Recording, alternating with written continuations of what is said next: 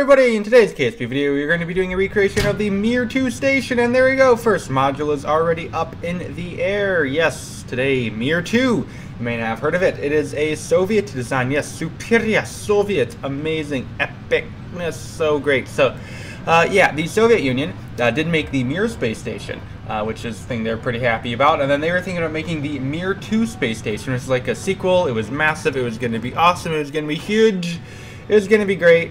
Um, and then eventually that they were good into that, but that kind of merged together. The Soviet Union kind of like stopped being a thing, and ISS started to be a thing. You know, International Space Station, like, hey, we team up and stuff. So, um, actually, fun fact: a, a large portion of the uh, the Russian segment of the International Space Station was inspired by Mir 2. It's actually fairly similar. You'll see the resemblance of you know much about how the Russian segment looks at the space station. Uh, the Mir 2 is, is, a bit, it's bigger than the Russian segment, so it's, it's, it's a pretty big station. It's fairly big, it's epic, it's cancelled, which means it's a video for my channel, right? I like to do kind of crap like this. Cancelled designs, especially cancelled Soviet designs, yes. Very epic. So, yeah, today's video, Mir 2. Uh, these were, uh, there are quite a few iterations on this station. It was, it was very difficult to find some good, good reference materials. I found like one good article, which had some great pictures and stuff. There are also a lot of different design variations on it. Um, the one with Taiwan, it was originally going to be launched by Energias, but there was like literally no information on that. So I found one that was mainly launched by Protons, um, and that's the one that we're going to be recreating. This one is a, it's a cool version. Um, basically, the way it works is it has, it's kind of similar to the ISS. It has one main kind of crew area, uh, and then it has a little some docking adapter areas and there it is. There's our first module. It's actually a Zvezda module. Uh, definitely, it's an ISS. They ripped that module string of the ISS. It was Zvezda. So that's the first launch. Now we're going to bring the second launch up on the Proton rocket. Always on Proton. It's not a great Proton recreation, but it'll work. Um, so yeah, so it has the main area. Then it has like all these modules, four modules, like science modules that house like, you know, we're gonna grow plants in this one, and we're gonna do that. There's a lot more, a lot, lot, a lot more room for experiments and science and stuff. Which hey, pretty epic. I don't know, maybe there's like a Russian nuke or something in one of the modules. We, we really don't know anything. So our second module is like the it's like part two of the main crew habitation modules. Uh, the Zvezda was the main crew habitation module, and this one is like a crew walkway slash we really don't know much, but uh, yeah, that's going to be the second module. So we're going to getting it up into a realistic orbit, 350 by 450 kilometer orbit. Will actually be 450 by 350 if you, you correct nomenclature and crap. So uh, here we're going to get ready to do our very first docking. We have a lot of extra uh, delta V in the Proton, so we can do these kind of uh, not very efficient docking. So yeah, that's be today's video. It's a really cool station. Hopefully you can stay to the end uh, if you want to. We actually do, uh, these are, most of our launches, except for two of them, are done with the with the Proton, and that's the last one. So the second last one is a really ridiculous and stupid launch we do with the Energia. Um, and then the last launch is when we send the crew up and we do that on the uh, the Soyuz. So hopefully you enjoy that. If you enjoyed the video, nice little subscribe button if you want to hit that. Comment section, like button. Epicness. Thank you everyone. Thanks y'all all for all the extra subscribers and stuff. Uh, it's been pretty cool. So yeah, good to see uh, new people. It's pretty awesome. So we get ready to do our very first docking of the day. This is the Zvezda to the uh, the other crew module there. And You can see the two docking ports on the crew module where uh, the truss section will go. So there it goes, and that is launch number two completed. Now we can crossfade over to launch numero three. So it is now in the air. And this lot, this module contains the docking port area. So there are two universal docking things which have like a bunch of um, a bunch of uh, docking ports on them, six of them. Um, that's where they're going to dock uh, different modules and stuff too. Uh, universal docking adapters, I believe. I don't, I don't remember if that's what they're called, but they're called something like that. Um, I'm probably getting that completely wrong, but uh, yeah. So uh, two of them are like that, and then one of them is just mainly used for uh, for spacecraft docking or Soyuz docking. They were intending on bringing Soyuzes and maybe Burans up here, but Buran was like half canceled by the time they were designing this. So uh, yeah, that that is the uh, that's the thing. So we're going into the orbit with the Proton. Proton is a four-stage orbit vehicle. It has a the two bottom two a bottom stage, then like a middle stage, then a normal upper stage, then it has like a little kick stage as its uh, as its fourth stage. So it's kind of it's a pretty cool rocket. Proton is the infamous rocket, in, uh, infamous rocket. Uh, you know, because if you look on the next launch, you'll see the boosters are not, or they're all connected. They look like like boosters that would split off and fly away, um, or be staged, but they're connected. That's like its whole gimmick thing. It's weird, but here we are coming in for um coming in for docking. Number number two yes the second docking we're actually do some little bit of rearranging because like i said we have three modules in one here. I tried to split up the uh, split up the launches into as many uh, as few as possible rather trying to get as many payloads to you know ride share with each other. So i have uh, the the um, the docking adapters are ride sharing.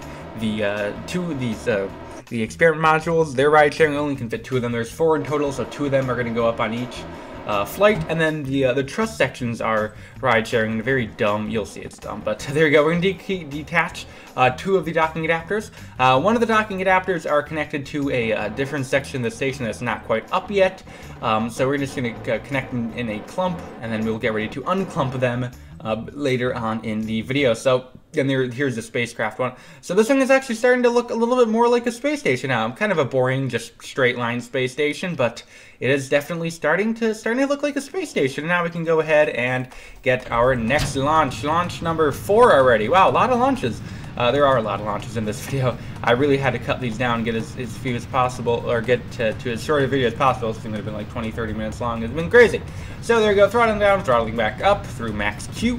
Uh, I did I did record a build time lapse. I think I may release that as a members only. oh my gosh, guys, members give me money. Hashtag capitalism. Uh, I think just because, I mean, to be honest, I, I promised the members, uh, the people who have the tier 2 and above, who they're supposed to be getting, um, they're supposed to be getting my videos early, and my last two, I think, I haven't actually given to them early or given them like an hour early and stuff. So I will make it up to them, give them a little bit of a little extra video. So uh, yeah, very consistent branding, guys. Or I don't know. So here, coming into orbit, you know, we're not, we kind of force a lot of these dockings, a lot of relative speed and stuff, but hey, you know, why not? So yeah, that is, that is going to be uh, our, almost our next launch already done. This kind of reminds me of one of my first KSP videos I did, uh, where I made a space station with Burans. Um, it's really fun, and we was seven launches. This one I think is more than seven. I think it's eh, it might also it might be seven. I don't remember. Uh, either way, I guess we'll have to count as the video goes on. It might be seven or eight, maybe even I don't remember. So yeah, this reminds me of that where I built the space station Burans. Th th that one was a lot more, a lot more, a lot more difficult than this one. Not a lot more because one of the launches on this one, uh, the Energia, was an absolute pain. But uh, we got it to work. The Burans are difficult because you have to land them. So here we go. There is our next module attached, and that is going to be the module where we can go ahead and realign the docking adapter, put it into its final destination, and there it goes very, very shortly. So now it is time for the final pieces to come up of the main crew habitation area thing where the, it's actually pressurized area, and that is going to be the four um, D4 experiment modules. we're going to be launching two of them now, and then we're going to be launching the next two in the next launch after this one. So that is going to be the plan for that, and then after that's going to be the Energia and then the crew. So there are going to be uh, five more launch, no, four more launches I can count uh, to uh, to do. So yeah, I think that was eight launches in total. So there we go, just staging in the bottom stage. I'm going to get ready to burn the middle stage, get ready to stage it away in a few seconds, and there it goes, middle stage. I'm going to go ahead and get ready to ditch the fairing. That's basically the same launch profile as all the other launches. Probably get pretty bored of this launch launch mission. We gotta we gotta spice up the video. What else do we talk about? I know what time it is to do. It is it is bottled water review or just water review. I guess we can review other types of waters. It's water review. Yes, Matt. The the the, the competition to to Matt Lowne's whiskey review. We are going to be doing uh, water review. And what water? We have done Fiji water, and we have done Dasani. Um, let's see here. We should do, hmm, Smart Water. Yes, Smart Water. They are, I'll put a picture on screen right now of Smart Water. So it's kind of weirder kind of containers. Um, yes, very epic, high quality uh, bottled water. I have never actually had Smart Water. I do not know what to say about Smart Water. We just, I, we have to do water review. And I don't know, I don't have water. I don't know. I, am not a very, I'm not a water, a bottled water connoisseur. I, I, I don't know what to say. Smart Water. It has kind of an ugly bo bottle. I don't really like it. Um, I'm gonna give it a zero out of 10 on the bottle front. We're gonna give it a, uh, I don't know, I've never really had it before, but I think we'll give it a 5 out of 10 on the taste front. It seems kind of average. Um, I don't know. Eh, I don't know. I don't know why I'm giving my opinion if I've never had it. I mean, hey, it's basically just like the rest of the internet, right? Um, you don't don't know something and still talk about it, right? Hey, welcome to the next launch. All right, so today we are on to our final Proton launch of the day. Today, day, words. So this is going to be the last two. That was a really dumb water review. Uh, last two of the. Uh, last two of the science modules, and then it's gonna get ready for the Energia, which was such a. I know I've talked about a lot, but it was such a pain to do. Like bros, broskies yeah, it was. it took me forever. I, that's why this video is coming out basically a day late. Um, I, I, keep talking. I keep telling myself I want to do a video a day, and then every time I get I get a video backed up, like I miss a day, I'm like, okay, well we'll just get today's video done early tomorrow, and then it becomes late tomorrow. So like yesterday's video ends up getting done at like like nine o'clock today. And I'm like, all right, well we'll get a second video done in time, and then I watch YouTube videos and talking on the Discord and don't get it done. Discord plug, not very subtle Discord plug. Well, I guess it was a little sub. I wasn't even intending on that being a plug, but hey, convenient plugs are convenient. So, yeah. Did you guys hear SpaceX, or, um, well, SpaceX is trying to incorporate uh, some town around Boca and call it uh, Boca Chica and call it uh, uh, Star Starbase. That's pretty cool. That is that is quite cool. I'd love to check that area out. Like go say say hi to say hi to Boca Chica, say hi to the starships. Yes. So here, getting ready to do our final docking of the Proton launches and the final docking of the pressurized section. So we're gonna go ahead and ditch the fourth stage there, and now we can go ahead and get our second to last experiment module lined up and docked in a very very quick due time. And and there it goes. And now for our last experiment module that will uh, basically end the uh, the pressurized section. So you can kind of see this. This is basically what the uh, the Russian segment of the ISS is like. It's just it doesn't have the experiment modules. Uh, it might be a little bit shorter too, but uh, yeah, that's it's, very similar. A lot of inspiration from the from the Mir too. Uh, obviously, doesn't have the trusses, but the Americans kind of took, took care of the trusses. So they're to do a little bit of reorientation thing through our docking ports in the right place because they weren't beforehand. But now we can get ready to the stupidest fairing of all time. Yes, welcome to the stupidest fairing of all time. Also, yeah, this is the stupidest fairing. Uh, I really wanted to launch both trusses in one launch, so all the realism is just going to go flying out the window today. Um, and we are going to... Uh, I like. I really didn't want to do like 15 launches and, launch, and split the trusses up into small pieces and um, yeah, it, was, it would have been a mess to do it that way. So we are going to brute force. Hey, this is a Kerbal method, isn't it? And I honestly didn't know I could do this, but I'm literally pushing an Energia rocket to its limit. Like, this is about as much as it could carry without, like, not making it to orbit. It is actually quite impressive. I use every drop of fuel out of this thing. So I didn't, I didn't know, I didn't know that was a thing that you could actually, like, Energia is a massive rocket. Like you have to drain quite a bit of fuel when you're doing Buran launches on it because it's so big. Like I was actually surprised. I managed to use almost all the fuel. Like, look, look at the fuel on my core. There's like nothing left. Uh, we're not, not even orbit yet. I, I, don't even actually get fully circularized at that stage. I have a little bit of a kick stage to help us get there. But you can see our truss sections. Uh, there are two truss sections that are connected by the docking port. Um, you'll see in just a second as we go to do our docking. There is uh, the communication side, which has those giant radar dishes or radio dishes. then there's the solar panel section, which is kind of like a Matt Lowne and, and, type solar panel, like where you know you have the um, we have uh, the um, the big solar panels connected to um, to pistons and hinges and stuff. You can like put them together and stuff. So those are going to unfold. They're all they're folded up right now. And oh, I just took out a solar panel. Oh, that's not good. Should we keep going or should we, re we revert? We F9, F9? Yeah, let's F9. So uh, there it is. I'm to go ahead and do the really agonizing deployment process. I didn't really want to do I didn't want to do an action group because this thing is really fiddly, so I have to kind of just kind of kind of manhandle it around. Uh, it's cringe word, cringe, cringe heavy, um, very cringe. So eventually we eventually they they managed to lock themselves into two place as we uh as uh, we're gonna we're gonna do the solar panel module first. It does does take it does take a does take a nice pretty second and they can kind of wobble around. These are very crack and heavy um, this type of solar panel design but eventually it'll eventually work. So there you go folding them out and there are the big nice epic solar panels.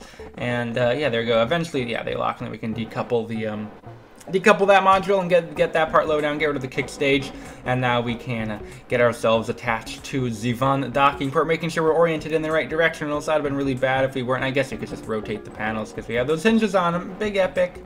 And here we go, coming in for a dock. There it is, docking. All right, now we're gonna get the communication side of the truss docked up. Full disclosure, there are way better ways to do the truss, like if you actually want to get it like hexa, hexa, hexagonal, like the real one.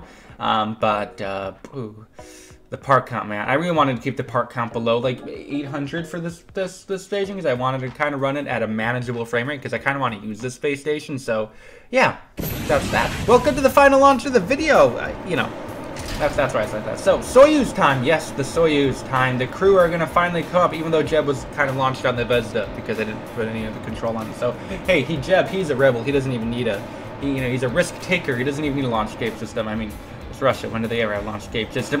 Russian jokes. We like Russian jokes. Yes, Russian jokes. All right, so time to go one time speed. We can have, you know, marvel at the Korolev cross. There it goes, and now we can get ready to speed the footage back up and get into our orbit, and the crew can meet up with the uh, with the um, the Mir 2. All great alternate history. What if the Mir 2 is there? I need to do Freedom now. If you don't, Freedom is the uh, the American design, similar to Mir 2. They were like, hey, let's make a space station. Russia was also like, hey, let's also make the space station. And then they were like, hey, we're both making space stations, and we just got done with this Cold War thing.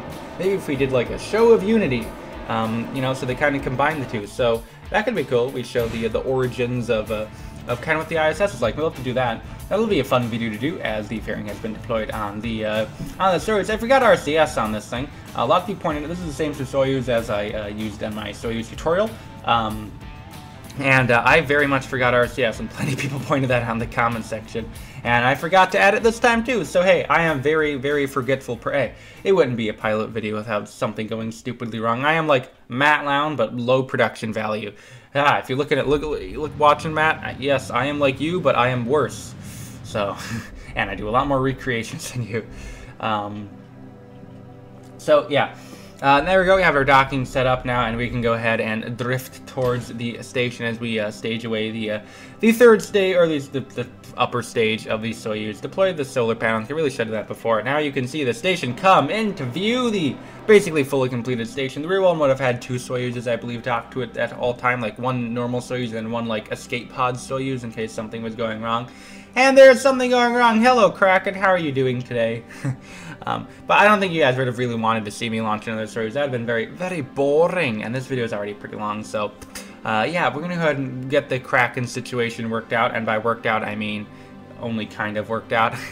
um, if anyone has a better way of doing this, please let me know. So there you go, but it's a little kind of broken. But either way, point is, we can begin our approach to the station because I want to do it all official-like. I'm not going to lounge lazy method it in. Because in the real life, they don't like whip, you know, we don't, I can't speak. They don't really whip stations around like, you know, in circles and stuff to dock stuff in real life. So we're going to leave the station in one direction. We're going to go ahead and uh, approach the station nice and properly. We are going to uh, approach like they really do from the progradal direction or off its prograde. Um, we do that uh, for reasons because it's easier to maintain alignment uh, with this thing. Because if you approach from a, a normal or anti-normal direction, the stations as you approach um, as you approach the target, it's going to like slide away from you. I mean, the same thing with uh, if you're approaching prograded or retrograde.